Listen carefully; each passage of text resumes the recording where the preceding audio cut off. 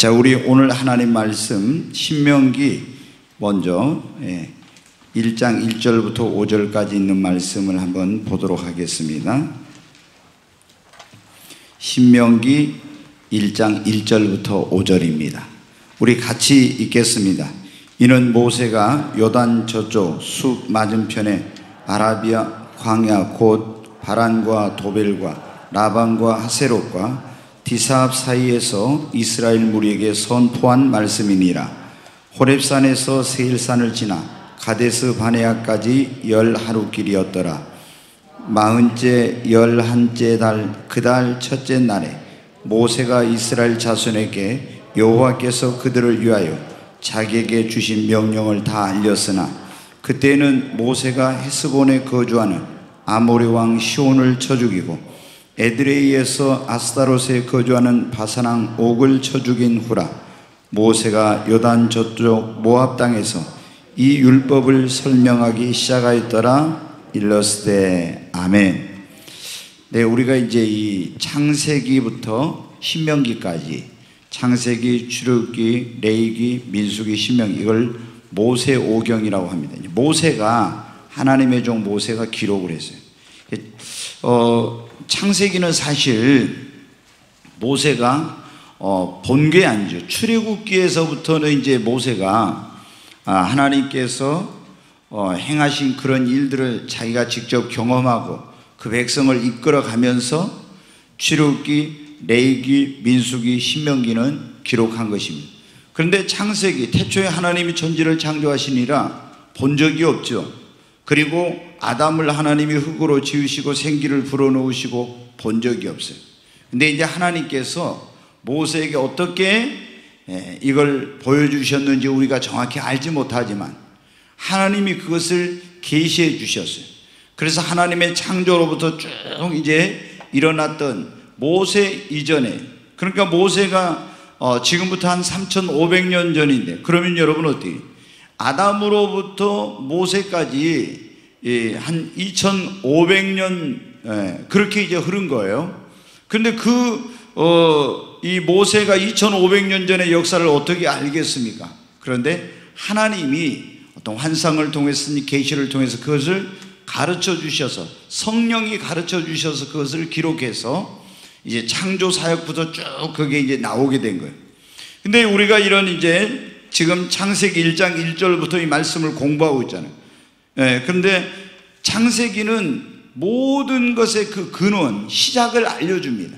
어떻게 이 우주 만물이 존재하게 되었어? 어떻게 인간이 예, 또이 땅에 이제 예, 하나님께 지음을 받게 되었는지, 모든 민족의 근원, 언어의 근원, 모든 것의 시작의 근원이 이 창세기에 있어요. 그래서 예전에 제가 이제 그런 말씀 드렸지만 이병철 옛날 그 삼성그룹 회장님이 아, 도대체 인간은 어디서 와서 어디로 가는가 이런 많은 고민을 하고 질문을 했다고 해요. 근데 그런 모든 것이 인간이 어디서 와서 어디로 가는지에 대한 해답을 주는 책이 성경입니다. 예, 그래서 이제 우리가 창세기부터 쭉 공부를 해왔는데 사실 굉장히 재밌는 내용이죠. 창세기부터. 그래서 출애굽기는 인간이 타락해가지고 이제 온 세상이 죄악으로 가득 찼을 때 하나님께서 한 사람을 택하셨어요. 그게 누구였냐면 아브라함이었는데 이제 그 아브라함의 후손이 이스라엘 백성들이 애굽에 내려가서 큰 민족을 이루고 하나님께서 아브라함이 말씀하신 대로 4대 후에 400년 후에 네 후손이 나오리라 했는데 그대로 이제 아, 이 모세를 통해서 하나님께서 이스라엘 백성들을 애굽에서 구원해 주시는 이 구원의 놀라운 그 사건이 이 출애굽기에 이제 기록이 돼요. 그 다음에 레이기는 어떻게 구원받은 백성이 어떻게 살아야 될지 이런 것들 하나님을 어떻게 섬겨야 될지 이러한 것을 설명해 주고 있는 것이 바로 레이기입니다. 레이기는 하나님이 모세를 구원받은 이스라엘 백성을 호렙산으로 아니 시내산으로 불러가지고 거기서 하나님께서 말씀을 주신 거예요. 그리고 민수기는 어떻습니까? 지난번에 여러분이 배웠는데 이 민수기는 구원받은 이스라엘 백성들을 적과 꿀은 가나안 땅으로 인도하기 전에 광야에서 40년 동안 그들을 어떻게 훈련하고 어떻게 연단을 시켜서 준비를 시키는 이걸 보여주고 있습니다. 우리도 마찬가지야. 하나님이 우리를 창조했는데 우리가 타락했죠. 그래서 애국과 같은 죄악된 세상에서 마귀 종로를 하고 있을 때 하나님이 예수를 보내서 우리를 구원해 주셨잖아요. 근데 구원받은 우리를 어떻게 광야 같은 세상에서 하나님이 훈련을 시키고 연단을 시켜가지고 마침내 어떻게 돼요? 하나님께서 예비해 놓으신 그 축복으로 우리를 인도하는 거예요. 이 신명기는 이제 무슨 내용이냐? 하나님의 택한 백성이 하나님께서 그들에게 약속해 주신 땅으로 들어가서 복된 삶을 살기 위해서 어떻게 해야 될지 모세가 임종을 놔두고 마지막 고별 설교를 하는 내용입니다. 근데 여기에 보면은 아, 세 편의 설교라고도 하고 네 편의 설교라고 하는데 이런 네 편의 설교가 제가 볼 때는 여기 있어요. 자, 그러면은 이 신명기라는 말씀은 모세가 모압 평지에서 했다고 했는데 한번 그림을 한번 보여주세요. 아, 저는 저기 그 먼저 그걸 어, 예, 저희가 이제 지금 우리 서목사님이 찾아봤는데 지금 완전히 어떻습니까? 지금 사막이잖아. 모압 평지가. 어, 저기 이스라엘 백성이 살고 있어요. 그러니까 이런 사막에 있었으니까 여러분 어떻게 돼요? 봐보십시오. 뭐 나무가 있습니까? 어, 거기에 무슨 길이 있습니까? 완전히 저런 황막한 그런 광야 사막이에요. 근데 하나님께서 저기서 40년 동안 어떻게 돼? 저 사막에서 낮에는 구름 기둥, 밤에는 불 기둥으로 인도해 주시고 매일 새벽마다 그들이 40년 동안 아, 먹을 수 있는 양식을 새벽마다 내려주셨잖아요. 물이 없는 곳에 반석에서 하나님께서 물을 주시고 40년 동안 지난 동안 그들이 옷이 헤어지지 않고 발이 부르트지 아니하고 어, 하나님께서 놀라운 그러니까 이런 하나님이 그 이스라엘 백성들을 인도하셨다는 이 광야 사막을 보면은 거기 가서 하나님이 그 인도하신 걸 보면 어디 야, 어떻게 이런 데서 사람이 살 수 있나? 근데 하나님께서 함께 하시니까 그런 인간이 볼 때 낮에는 그렇게 뜨겁고 밤에는 그렇게 추운 곳이고 불뱀과 정갈이 물고 이런 거 무서운 광야인데 어떻게 생존할 수 있어요? 하나님이 함께 하시니까 되는 거예요. 네. 근데 이제 예, 애굽에서 가난 그걸 한번 보여주세요. 그 그림을. 저거 말고 너무 어, 애굽에서 가나안 땅까지 있죠. 네, 좀 이거는 이제 희미한데 예. 여기서 이제 애굽에서 지금으로 하면 이집트죠. 나일강 있는 이집트에 종살하는 이스라엘 백성들이 그때 세계를 이집트, 나일 애굽이 지배하고 있어요. 거기서 이제 구원받아 가지고 홍해 바다를 건너서 이렇게 광야, 무서운 광야죠. 이 광야를 쭉 거쳐서 이렇게 해 가지고 이제 여기 가데스 바네아라는. 사실은 여기 율법을 받은 여기서부터 여기까지는 직선 거리는 얼마 열 하루 길밖에 안 돼요. 그럼 여기서 바로 가난 땅을 들어갈 수 있었는데 이 사람들이 어떻게 돼요? 아, 이 40년 동안 여기 거의 38년이죠. 나온 것부터 시작하면 40년 동안 여기 방황을 해요.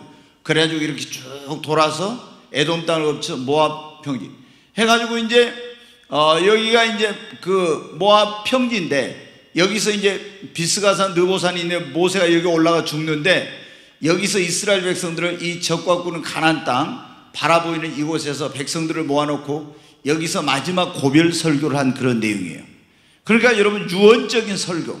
어, 뭐 오늘 제가 이제 마지막 고별 설교라고 하면은 어떤 설교를 할지, 예. 뭐 하여튼 뭐 재밌는 그런 말씀이 있더라고. 어떤 분이 그랬대. 어, 이, 예. 이제 부목사를 맨날 하다가 아, 이제 이렇게 해서 좀 자기가 나이가 이제 먹고 경험이 쌓여서 이분이 그랬는가 봐. 하나님, 저 이제 저도 담임 목사 좀 하고 싶어요. 그런 자리로 좀 보내주세요. 이렇게 했대요. 그리고 이제 하나님께 그거 보내주지 않는다고 이분이 좀 이제 투덜투덜 하고 이러는가 봐요. 그런데 갑자기 보니까 피부에 뭐가 생기더니 가서 보니까 뭐냐면 피부암이라는 거야, 암. 그래서 이제 이분이 기도원에 올라가가지고 하나님 앞에 얼마나 이제 회개하고 또 기도하고 그러면서 어, 이 이제 내려왔어요. 근데 어떤 교회에서 어, 담임 목사를 예, 이제 그러니까 이 목사님의 친구가 담임 목사인데 그분이 미국으로 유학을 간다면서 자네가 와서 여기 목회를 하라고 그런 거예요. 근데 어떻게 자기가 이제 암이 걸렸잖아. 그래도 청빙 서류를 냈는데 가지고 이제 그 어, 청빙위원회에서 이제 와서 청빙할 목사님들을 후보를 이제 골라가지고 서류 심사에 몇 사람 와서 설교해 보라는데 이분이 어떻게 되겠어요, 여러분? 이제 언제 죽을지 모르니까 그 설교가 얼마나 진실하고 절절한 그런 설교를 했겠어요. 근데 너무 성도들이 감동을 받았는데 아 보니까 이분이 암으로 언제 죽을지 모르는 그런 사람인 거 보니까. 그래서 청빙위원회에서 아, 장로님들이나 이제 중직자들이 아 그분은 설교는 잘하고 너무 은혜스럽지만 안 된다. 건강한 목사님을 모셔야 되겠다. 이렇게 하는데 한 사람이 딱 일어나고 그런 거야. 아니 언제 돌아가실지 모르지만은 저분은 지금 사느냐 죽느냐 하는 그런 가운데 있으니까 하루를 하더라도 얼마나 진실하게 정말 그렇게 말씀을 전하고 사역을 하겠냐. 그래가지고, 어, 우리가 저 목사님을 청빙을 하자 해가지고, 어, 정말 이제 극적으로 어떤 그렇게 일이, 일이 일어나가지고 이분이 갔대요.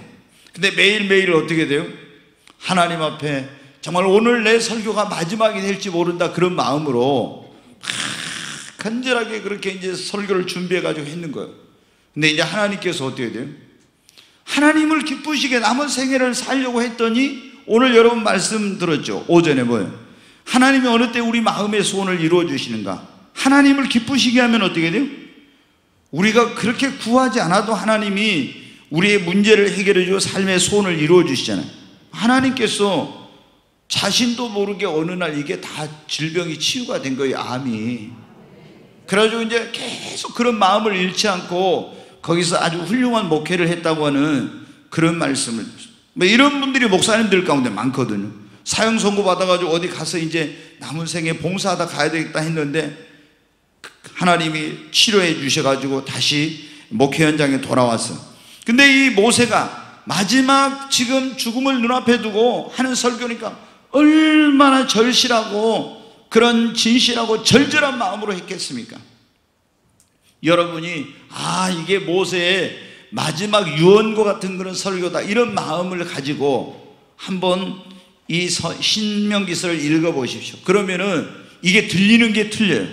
오늘 여러분 생각해 제가 여기 있는 이호세 목사가 마지막 설교라고 어 이제 하나님의 부름을 받는다고 해가지고 올라와서 제가 여기 설교한다고 할 때 여러분이 얼마나 그 설교에 관심을 가지고 귀를 기울이겠습니까? 네. 하나님께서 근데 이 신명기서를 어, 누구에게 주셨냐? 거기 1번 한번 같이 한번 읽겠습니다. 누구에게 주시면 같이 읽습니다. 죽음을 앞둔 모세가 출애굽 40년 11월 1일 요단강 동편 모압 평지에서 광야에서 태어나고 자라난 이스라엘의 새로운 세대에게 선포한 말씀을 기록한 것이다. 자, 조금 전에 다시 그 애굽에서 가난 그 도표를 보. 자, 여러분 어떻게?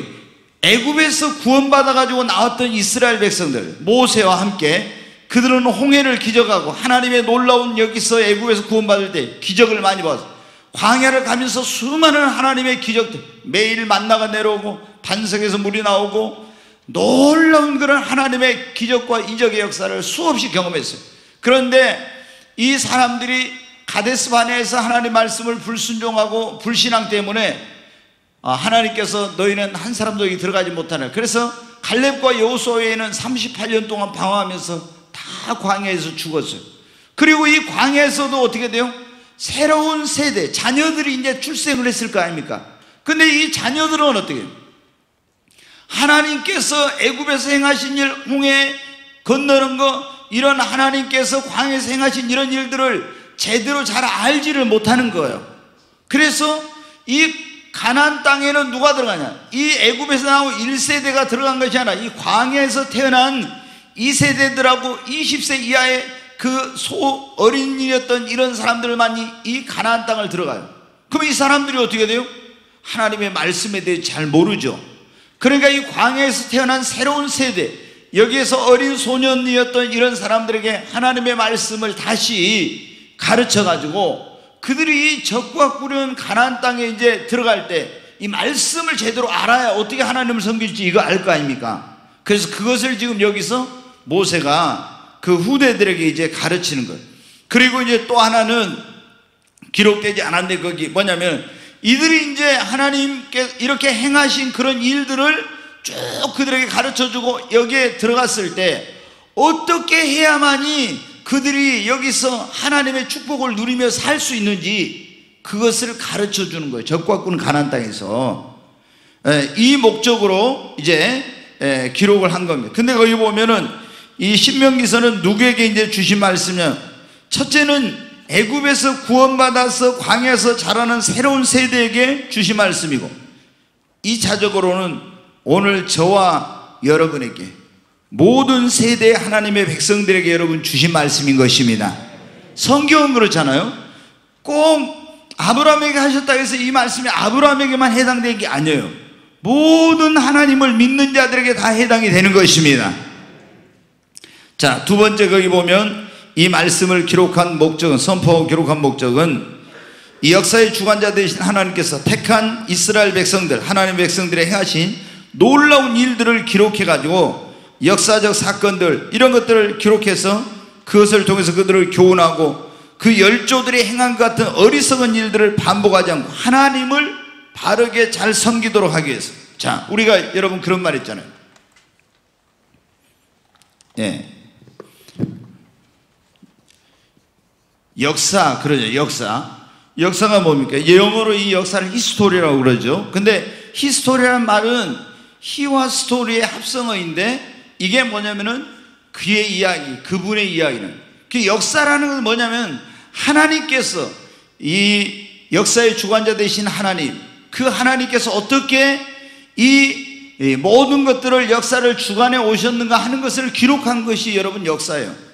그런데 지금 이 예, 광야에서 태어난 새로운 세대들은 하나님께서 과거에 행하신 그런 일들을 잘 모르고 있는 거예요.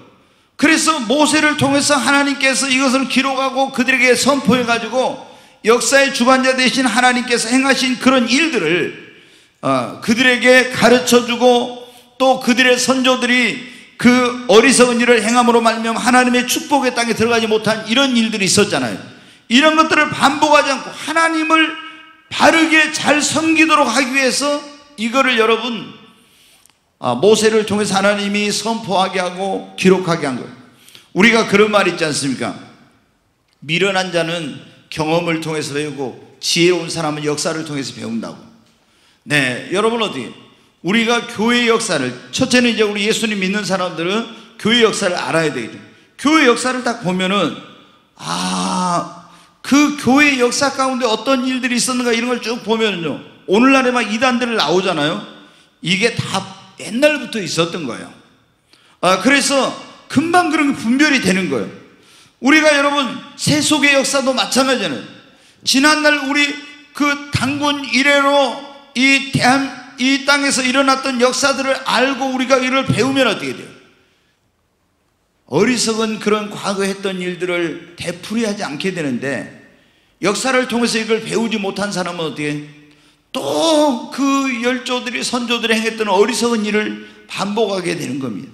그러니까 하나님이 성경의 과거에 잘했던 것만 아니라 실패했던 것 하나님은 정갈하게 해놓잖아요. 아브라함 같이 그런 놀라운 믿음의 사람이 좀 거짓말한 거 있잖아요. 우리는 어떤 사람을 막 미워해가지고 굉장히 그 사람의 잘못된 것은 드러내지 않지만 하나님은 그렇지 않아요. 있는 그대로. 다윗이 하나님의 마음이 아픈 사람이지만 여러분 어때? 그가 범죄하고 거짓말하고 또 사람을 전쟁터에 보내 죽인 거 다 그대로 해놨잖아요. 이런 것들을 적나라하게 기록해 놓음으로 말미암아 그것이 다 우리에게 교훈을 주도록 하기 위한 거예요.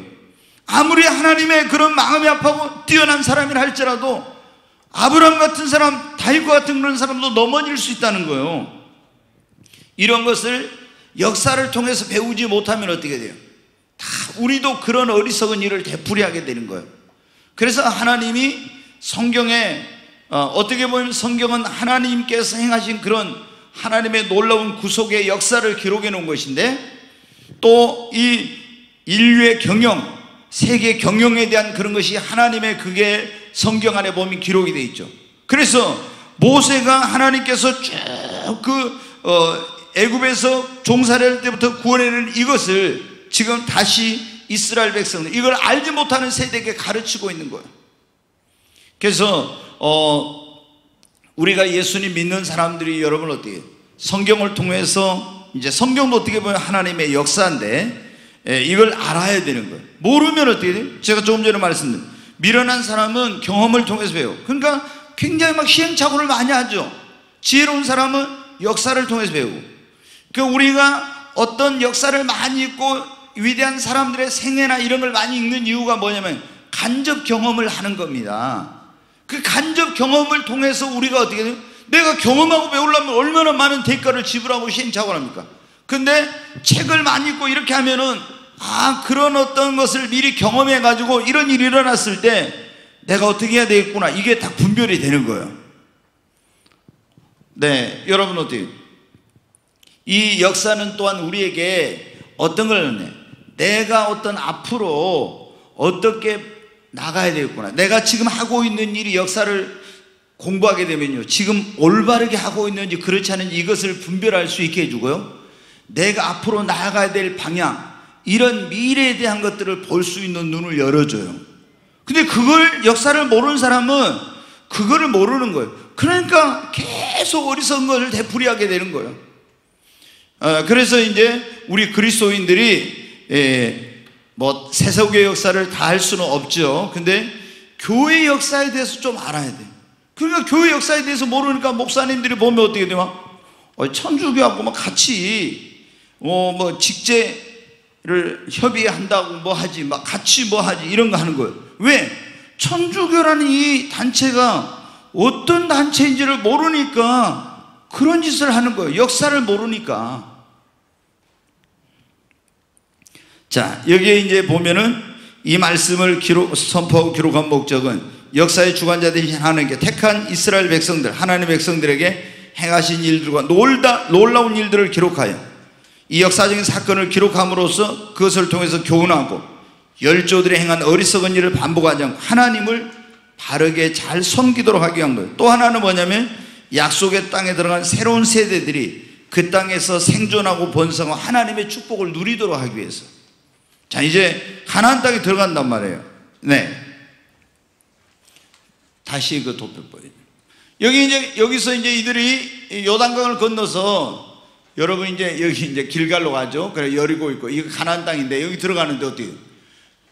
하나님의 말씀을 제대로 여기서 가르침을 받고 들어가야 되는데 이걸 어떻게 들어가서 하나님을 섬겨야 여기 가나안 땅에는 지금 우상 숭배하고 이런 일곱 부족이 살고 있어요.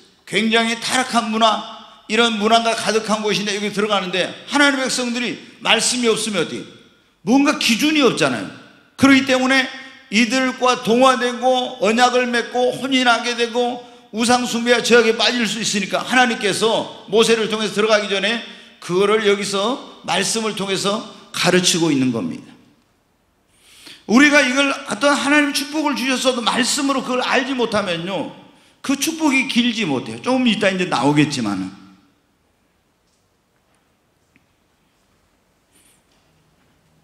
자, 신명기서의 이제 내용이 어떻게 구성되어 있냐면, 에, 여러분 이제 크게 세 편의 설교가 네 번째, 마지막에는 모세 고별사가 나오는데, 이 첫 번째 설교가 신명기 1장 1절부터 4장 43절까지 이게 이제 하나의 설교예요. 근데 거기는 지난 40년 동안 하나님께서 행하신 그런 광야에서 일들을 회고하면서 하나님께 그들을 어떻게 인도하셨는가, 또 하나님이 그들에게 어떤 법도와 규례를 주셨는가 등등 이런 하나님을 어떻게 섬겨야 되는지에 대해서 나와요. 그리고 모세 두 번째 설교에는 이제 나중에 자세히 하겠습니다. 이건 율법을 다시 모세가 선포합니다. 하나님 계명과 율법. 그리고 하나님 백성이 지켜야 될 법도와 규례를 그들에게 가르쳐 주고 또 하나님 백성들이 잊지 말아야 될 것. 신앙 공동체가 어떻게 이제 그 지켜야 되는지 이런 규례를 말씀해 주세요. 그리고 모세 세 번째 설교에는 하나님의 축복과 저주가 네 앞에 있는데 네가 축복을 받기 위해서 살기 위해서 행복한 삶을 위해서는 어떻게 선택을 잘해라 이런 내용이에요 결론이. 그리고 이제 네 번째 31장 1절로 34장 12절까지는 모세 고별사. 그리고 모세의 노래 백성을 축복하는 모세의 축복 죽음에 대해서 기록이 되어 있습니다 자 이제 모세 첫 번째 설교 핵심 여기서부터 이제 이게 중요하니까 여기서부터 한번 보겠습니다 에, 애굽에서 구원받은 이스라엘 백성들이 예, 하나님께서 그들에게 약속해 주신 가나안 땅에 들어가지 못했다겠죠. 자, 다시 한번 그 도표를 보겠습니다. 여기서 이제 종살하고 있어 하나님 구, 구원해 주셔 가지고 어떻게 그들에게 주신 것은 이 광야가 아닙니다. 그들이 예, 이 광야를 거쳐서 어디 이 가나안 땅 하나님께서 아브라함에게 약속해 준 내가 너 누운 땅을 네 밟는 이 땅을 너와 네 자손에게 주리라. 또 이삭에게도 말씀, 야곱에게도 약속하셨어. 그리고 어 이제 하나님께 그래서 때가 돼서 애굽에 종살이던 이스라엘 백성을 쭉 인도해 가지고 이 가나안 땅으로 이제 인도. 그런데 사실 이게 40년을 여기서 보낼 필요가 없었어요. 그들이 이렇게 구원받아 가지고 여기서 가데스 바네아에서 바로 들어갈 수 있었는데 여기서 못 들어가고 얼마 동안 38년 동안 여기서 나온 걸 따지면 이제 40년 동안 방황을 해가지고 나중에 들어가. 그왜 여기서 여기 지금 어 시내산에서 호랩산 한쪽에서는 호랩산이라고 한쪽은 시내산이라는 똑같은 산을 그런데 여기서부터 여기까지는 열하루 길이에요. 여기서 여기까지. 뭐 금방 들어갈 수 있는데 여기에서 어떻게 돼? 38년 동안이나 방황해. 그러니까 어떤 사람은 하나님의 축복을 금방 받을 수 있는데 잘못하면 축복을 받지 못하고 계속 축복이 지연되고 이렇게 되는 거예요. 그래 이제 엄청난 방황을 하다가 여기서 다 죽고 이제 40년이 지나서 이제 들어가게 되는데 왜 이제 그게 됐는지 그걸 백성들이 가르쳐 줘. 그러니까 너희가 이걸 교훈을 삼으라는 거예요. 이스라엘 그 지금 어 새로운 세대들한테. 그러면 한번 거기 보겠습니다. 1번에 그게 나오잖아요. 왜 그들의 조상들이 하나님께서 약속해 주신 가나안 땅에 들어가지 못했는지 그 40년의 이 광야 40년을 기억하라는 거예요. 자, 그러면은 신명기 1장 19절부터 한번 보겠습니다. 같이 한번 읽습니다. 우리 하나님 여호와께서 우리에게 명령하신 대로 우리가 호렙산을 떠나 이거 이제 신의 산이라고도 합니다. 떠나 너희가 보았던 그 크고 두려운 광야를 지나 아모리 족속의 산지길로 카데스 바나에 이른 때 카데스 바나에 이르렀다.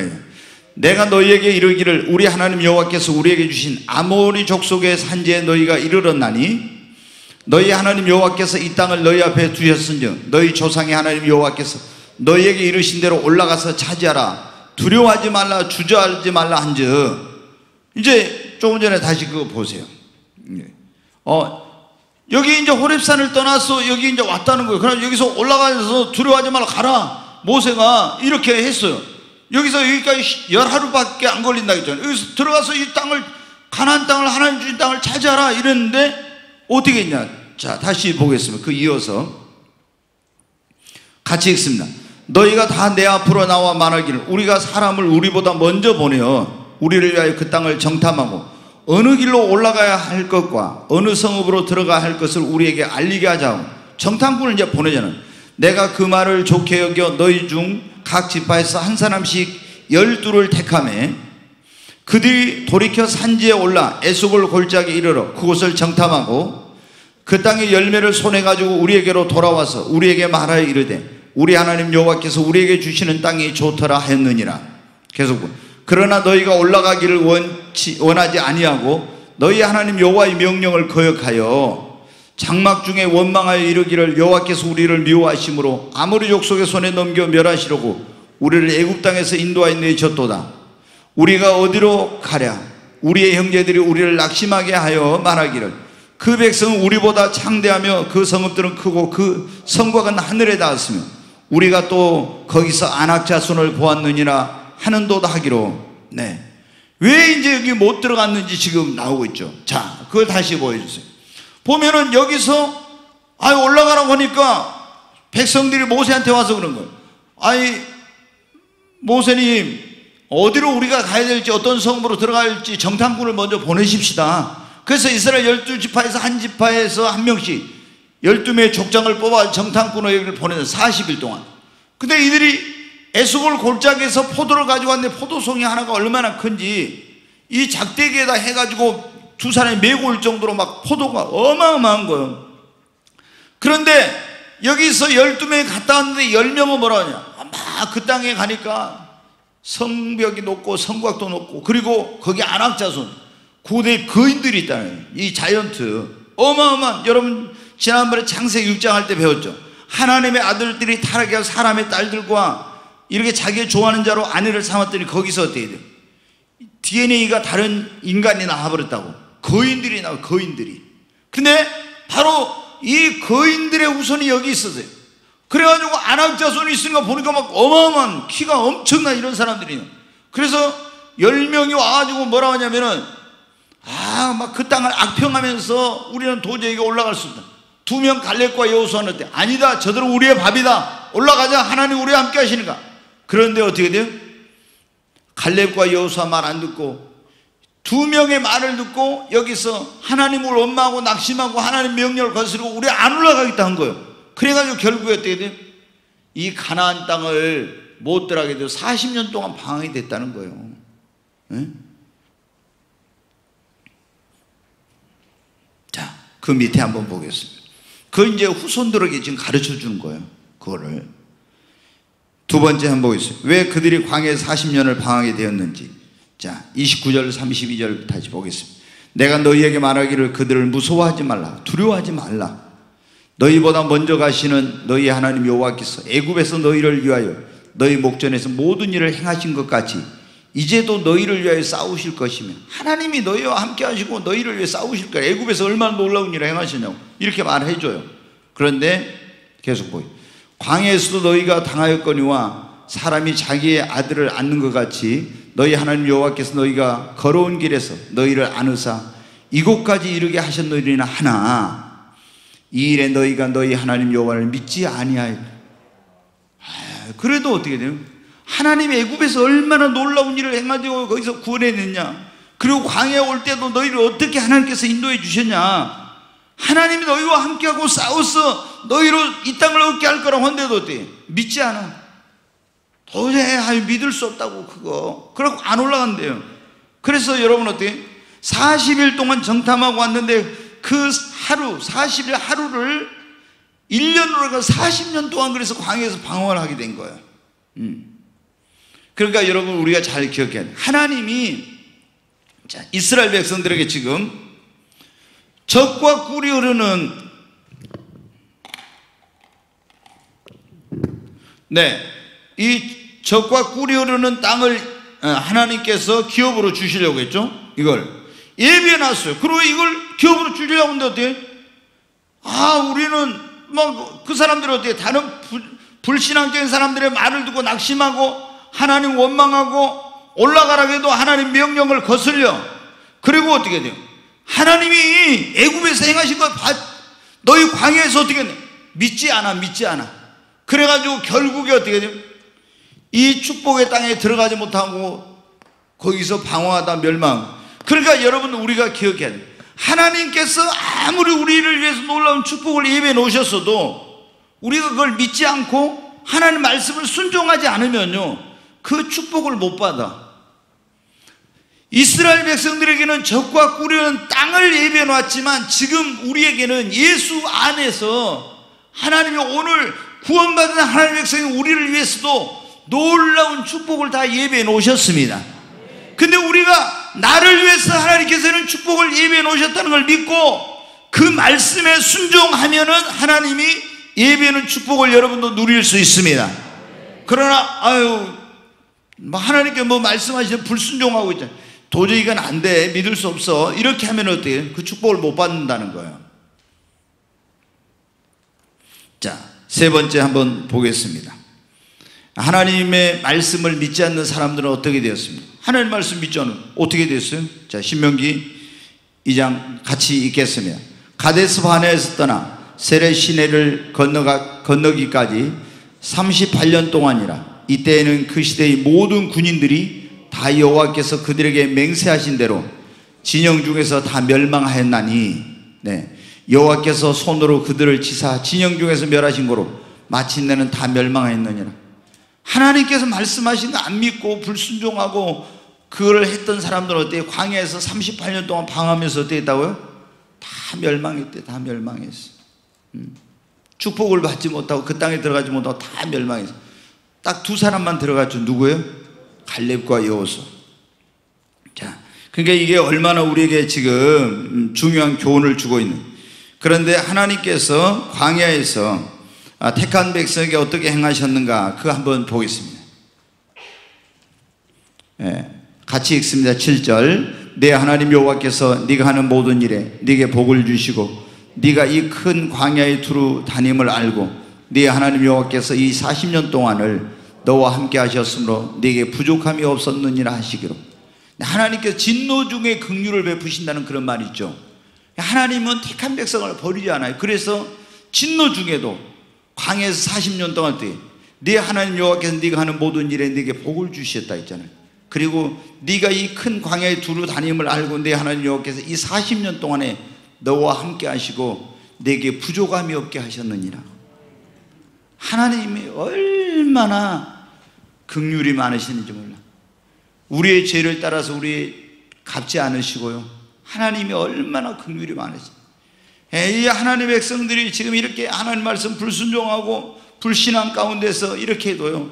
하나님께서 40년 동안 그들을 돌보시고 함께 하시고 부족함이 없게 해 주셨다는 거예요. 아멘. 자, 예, 모세는 5번 같이 한번 보겠습니다. 모세는 자신이 가르쳐 준 하나님의 말씀의 규례와 법도를 이스라엘이 듣고 준행하면 어떤 일이 일어난다고 했는가? 여기 보면 모세는 자신이 가르쳐 준 하나님의 말씀의 규례와 법도를 이스라엘이 듣고 준행하면 듣고 준행하면 어떤 일이 나요? 자, 거기 한번 신명기 4장 1절로 2절 한번 보겠습니다. 같이 읽습니다. 이스라엘아 이제 내가 너희에게 가르치는 규례와 법도를 듣고 준행하라. 그리하면 너희가 살 것이요 너희 조상의 하나님 여호와께서 너희에게 주시는 땅에 들어가서 그것을 얻게 되리라. 여기 보면 내가 너희에게 가르치는 하나님의 규례와 법도를 너희가 듣고 첫째 들어야 돼.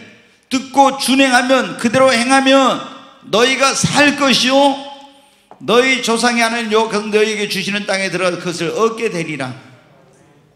여러분 우리가 하나님의 말씀을 먼저 있잖아요. 축복을 받으면 잘 들어야 됩니다. 그 다음에 듣기만 하고 행하지 않으면 듣고 행해야 돼요. 자, 여러분 보십시오. 이 듣는 것이 얼마나 중요한지 여러분 잘 아시는 대로 예수님이 하신 그 많은 비유 가운데 첫 번째 비유가 뭐예요? 씨 뿌리는 음, 자의 비유예요. 예, 이씨 뿌리는 자의 비유가 있는데 이씨 뿌리는 자의 비유에 보면은 씨를 뿌려요, 뿌리는 자. 근데 처음에 이 씨가 어디에 떨어졌어요? 길가. 그 다음에 어떤데요? 돌짝밭에 이제 떨어졌죠? 그 다음에 세 번째는 가시떨기. 예, 가시밭에 떨어졌어요. 네 번째는 어디에요? 옥토. 좋은 땅에 떨어졌습니다. 똑같은 씨는 씨인데 길가에 떨어진 건 새들이 와서 먹어버리니까 이거는 열매를 맺으면 돌짝밭에 떨어진 건 낫다가 뿌리가 깊지 않아 말라 죽어버려 햇빛 가시떨기에 있는 건 떨어져서 자라긴 한데 가시가 찔르니까 열매를 못 맺어 옥토에 떨어진 것도 가장 좋은 땅은 100배의 열매를 그 다음에 60배 30배 맺죠. 자 여기서 이 길가.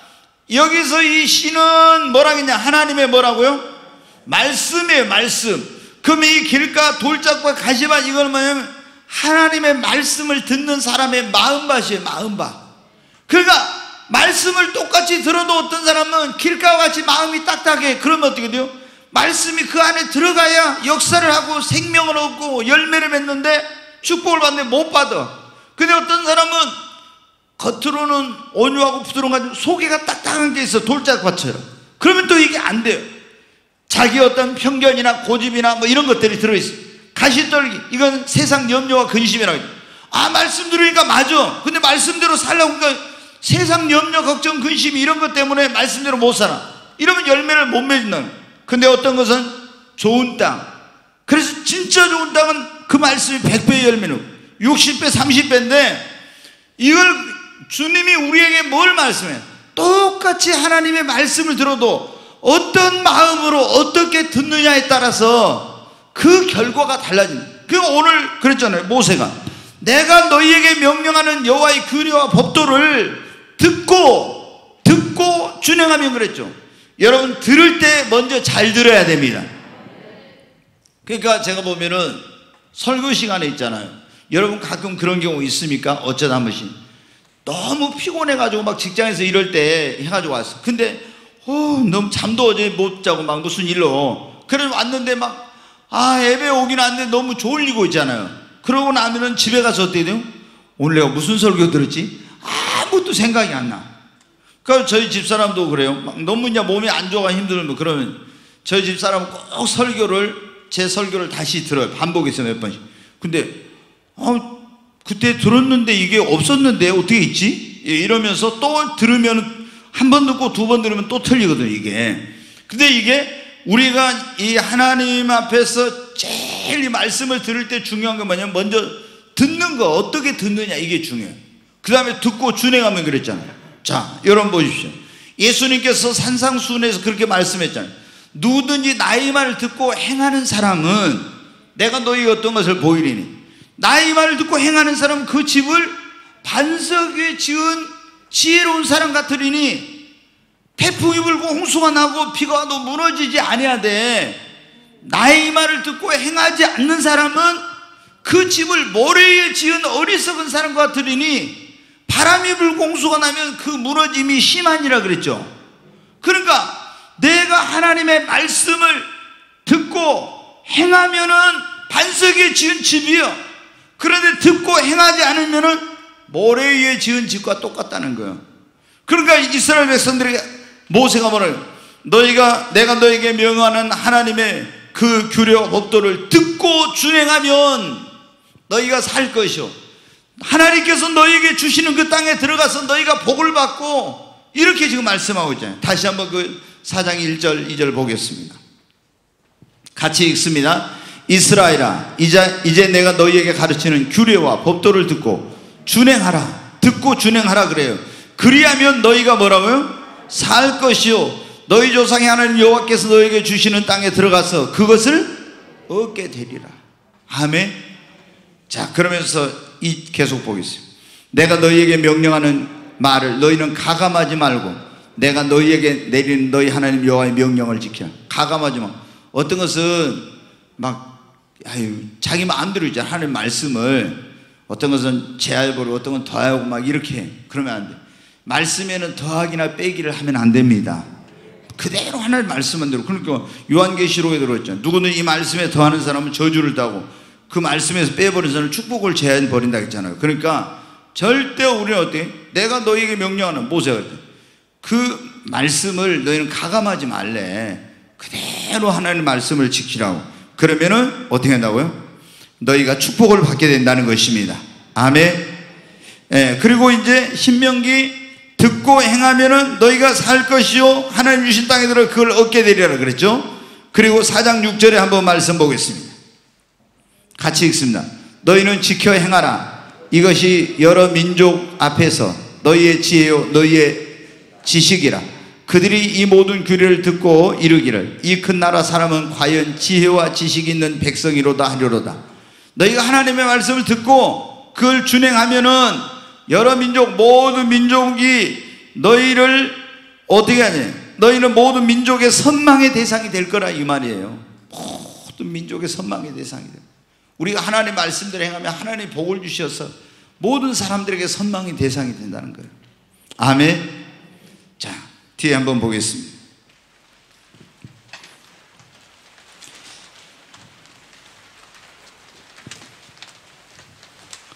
자, 6번 거기 제목을 한번 같이 읽습니다. 하나님께서는 어떤 사람을 가까이 하시는가?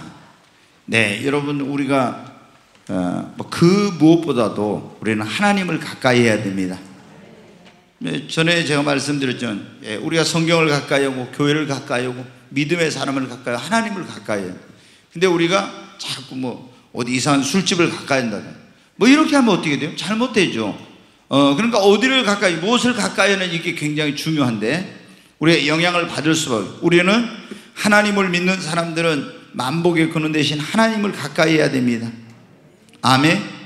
자, 그러면 하나님께서 어떤 사람을 가까이 하시는가? 신명기 4장 7절 말씀 한번 보겠습니다. 같이 읽습니다.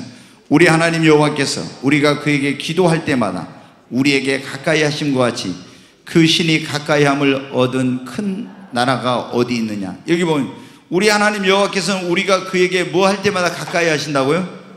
기도할 때. 여러분이 기도하면 하나님과 가까워집니다. 자, 우리가 부부가 있잖아요. 부부가 한 집에 살아.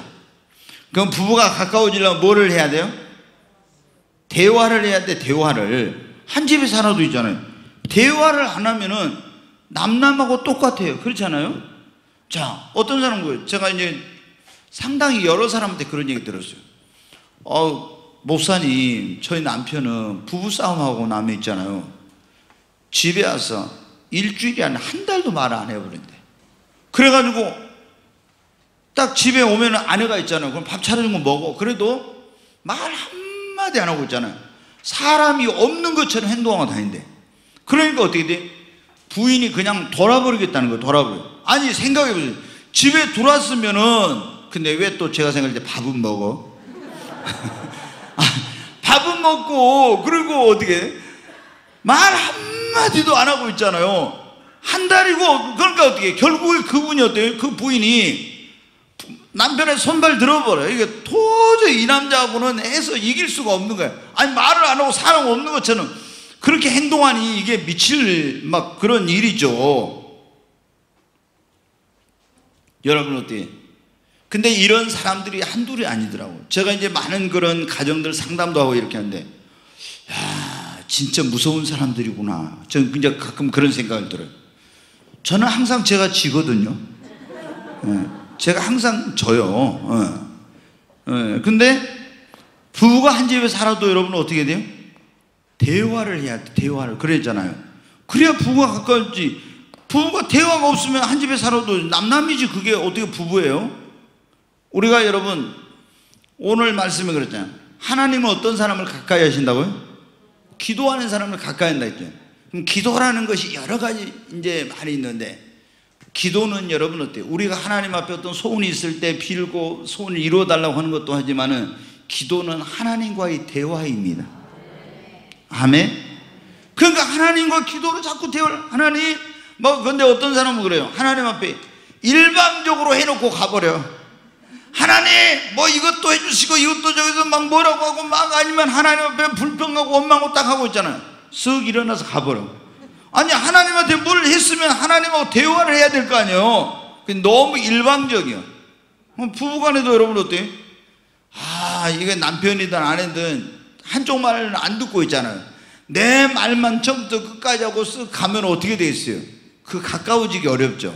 우리가 아 이제 이렇게 하나님과 가까워지신 분들 보면요. 기도를 하면서 대화 같이 이렇게 많이 하세요. 하나님, 제가 이렇게 어려운 가운데 있습니다. 그럼 어떻게 하면 좋죠? 막 무조건 막 울고불고만 하는 게 아니라 하나님 어떻게 하면 좋아요? 이렇게 그러면은 어, 하나님께서 음성이 안 들려질 자로 영감으로 딱 말씀을 해주세요. 아멘. 그래서 하나님은 어떤 사람 가까이 하느냐? 기도하는 사람을 가까이 하십니다. 그 다음에 야고보 4장 8절로 10절 한번 보겠습니다.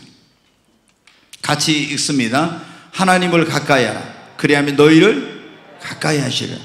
하나님을 가까이 하라. 그럼 너희를 가까이. 이건 뭐냐? 우리가 의지적으로 하나님께로 더 가까이 가려고 하면 하나님께서 어떻게 돼요? 우리를 가까이 해 주신다는 거예요. 아멘. 그런데 여기 보면 하나님 거룩하신 분이니까 저희들아 손을 깨끗이 하라. 두 마음을 품자들아 마음을 성결하라. 하나님 거룩하신 분이니까 우리가 가까이 하려면 우리도 어떻게 돼요? 거룩하고 깨끗한 삶을 살아야 된다는 거예요. 아멘. 계속 한번 보겠습니다. 슬퍼하며 애통하며 울지어다. 너희 옷을 아, 웃음을 애통으로 너희 즐거움을 근심으로 바꿀지어다. 아, 주 앞에서 낮추라. 그러면 주께서 너희를 높이시리라. 이 보면 이제 하나님은 거룩하신 분이니까 우리가 그리고 의지적으로 늘 하나님을 가까이 하려고 하는 사람을 하나님께서 가까이 해 주십니다. 그리고 하나님의 얼굴을 들고 하고 하나님을 사모하고 겸손한 마음으로 이렇게 한 사람을요 하나님께서 가까이 해 주십니다. 왜 우리가 하나님을 가까이 해야 되는가? 이게 중요한데 시편 73편에 있는 말씀 한 절 보겠습니다. 같이 물을 주를 멀리하는 자는 망하리니 음녀같이 주를 떠난 자를 주께서 다 멸하신다. 이 보면 하나님이 생명과 복의 근원이세요. 근데 이 하나님을 어, 이스라엘 백성들이 그래 생수의 근원 대신 하나님을 버림으로 너희가 에레미야 17장에 보면요. 이 하나님을 멀리하는 사람은요. 광야에 심겨진 가시떨기 나무와 같다고 그랬어요. 그래서 좋은 것이 오는 걸 보지 못하고 간조한 땅, 건강한 땅, 열매를 맺지 못하고 메마른 그런 삶을 살게 된다고. 하나님을 멀리하는. 그러니까 여러분은 어떻게? 근데 하나님을 가까이 하고 의지하고 의뢰하는 사람은 시냇가에 심겨진 나무와 같아서 사시사철 풀고 목마르지 않고 열매를 맺고 풍성한 삶을 산다고 그렇게 나와 있어요. 그 여러분이 만복에 그는 대신 하나님을 가까이 하십시오. 우리가 예수님 믿는 사람들에게 큰 복이 뭐냐? 하나님을 가까이 하는 것이 우리에게 복입니다. 자, 28절 말씀 보겠습니다. 같이 읽습니다. 하나님께 가까이 함이 내게 복이라. 내가 주 여호와를 나의 피난처로 삼아 주의 모든 행적을 전파리다. 하나님께 가까이 하는 것이 내게 뭐라고요? 복이라고. 여러분, 하나님께 가까이 하는 것이 복입니다. 하나님은 그 여호와는 그 성전에 계시니 온 천하님 그 앞에 잠잠을 자 이게 하나님의 집입니다. 주님이 오늘 이곳에 계신 줄로 믿습니다.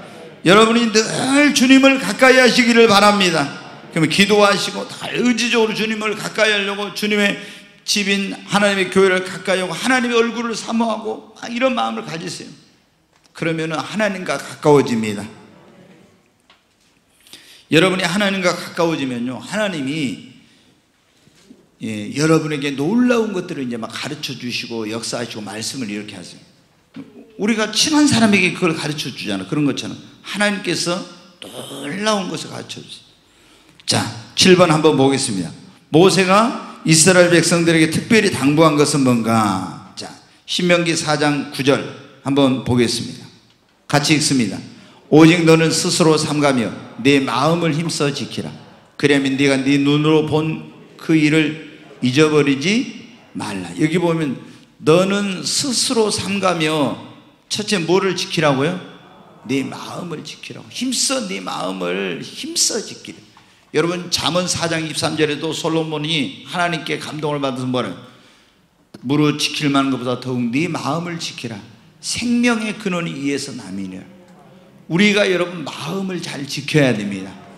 내 마음 속에 세상적인 것이 들어오면 세상적인 사람이 되고 악한 것이 들어오면 내가 악인이 되는 거예요. 그러니까 무릇 지킬 만한 것보다 네 마음을 지키라고 했는데 여기 보니까 하나님 종보세를 통해서 하나님께서 백성들에게 뭐라 스스로 삼가요. 조심해서 네 마음을 힘써서 지키라는 거예요.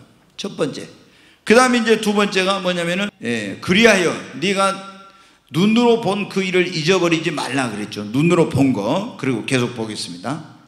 네가 생존한 날 동안에 그 일들이 네 마음에서 떠나지 않도록 조심하라.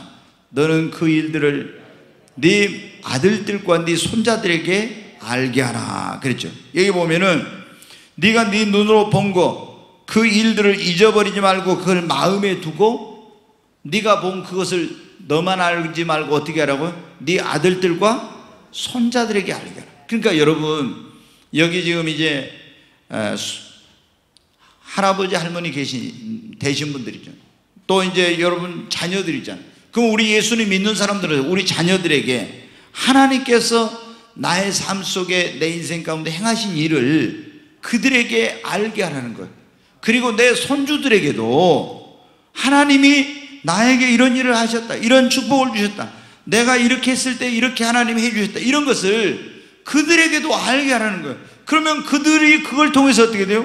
아, 하나님 살아계시구나. 진짜로 하나님께 기도 아니면 응답해 주시는구나.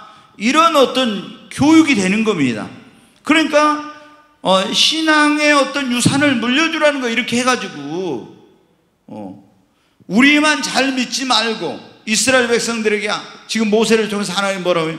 네 아들들과 손자들에게도 이것을 알게 하라는 거예요. 네가 본 거, 네가 경험한 거, 네가 만난 하나님에 대해서 말해줘라 그런 거예요. 그리고 어, 특별히 당부한 것이 네 마음을 힘써 지키라는 거. 그 다음에 네가 네 눈으로 본 거 그 일들을 잊어버리지 말고 마음에 간직하고 그것을 네 아들들과 손자들에게도 알게 하라는 거. 세 번째, 에, 계속 보겠습니다. 네가 호렙산에서 내 하나님 여호와 앞에 섰던 날에 여호와께서 네게 이르시기를 나에게 백성을 모으라. 어, 내가 그들에게 내 말을 들려주어 그들이 세상에 사는 날 동안 나를 경외함을 배우게 하며 그 자녀들에게 가르치게 하리라 하심에 여기 보면은 세 가지 당부를 하는데 또 하나가 뭐냐면 하나님을 경외하는 것을 배우고 그것을 자녀들에게도 가르치라는 겁니다. 아멘.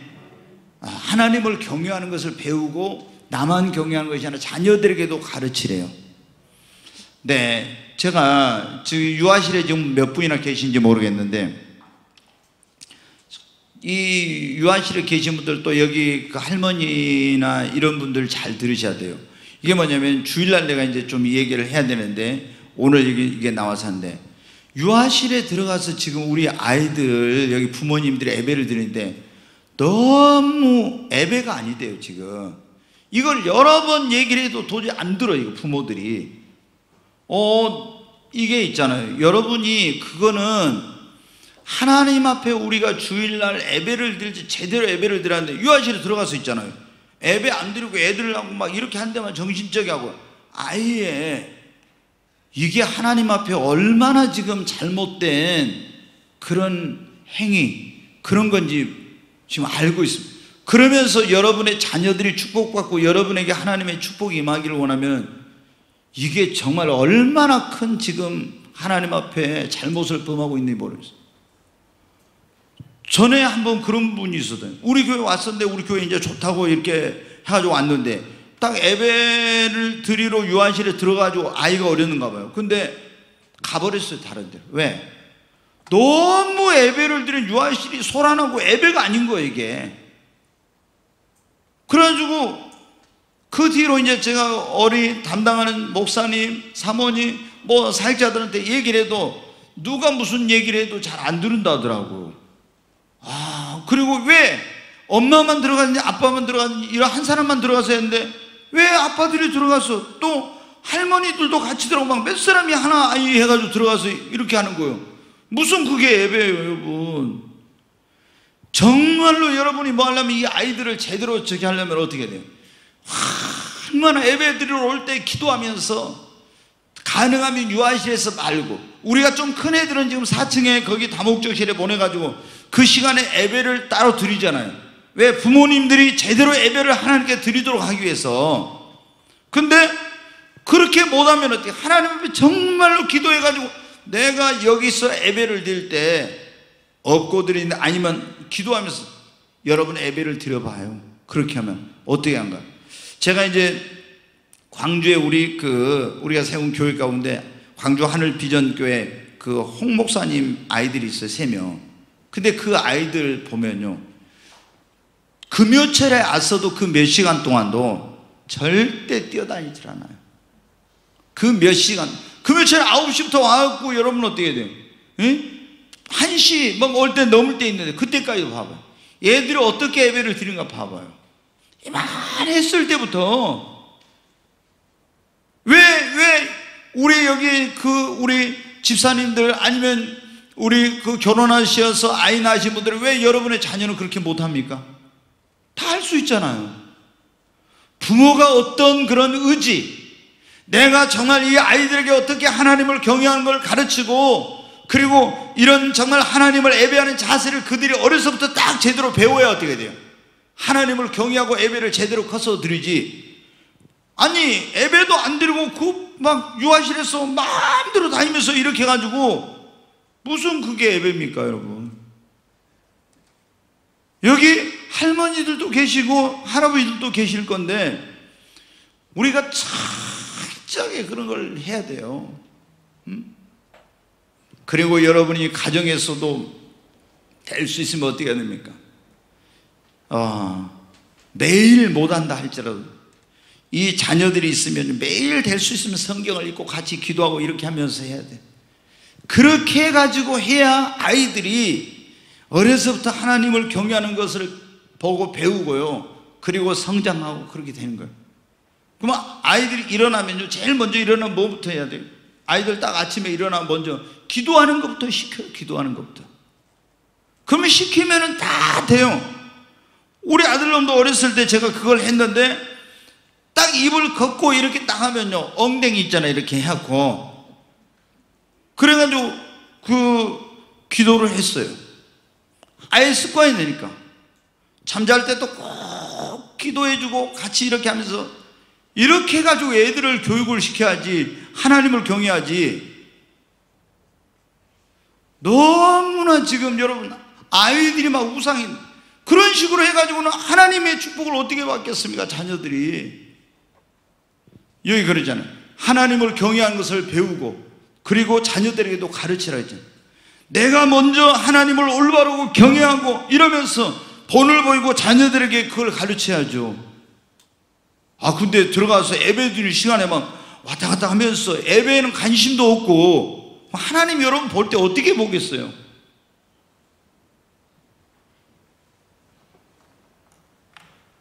제가 이게 보면요 어떤 데서는 이제 그 통합 예배를 드리는 교회들이 있어요 가끔 이게 뭐냐면 어린이부터 시작해서 할머니 할아버지들까지 다 이 세대를 나누지 않고 그러면은 다 옆에가 이제 뭐 할아버지 할머니 하고 거기 아들 딸 아니면 며느리 뭐 이렇게 하고 또 손주들 하고 이렇게 가지고 하는데 근데 교육을 우리가 시키는 대로 되는 거예요. 그래서 어, 여러분들이 정말 이 모세가 이스라엘 백성들이 당부한 게 뭐예요?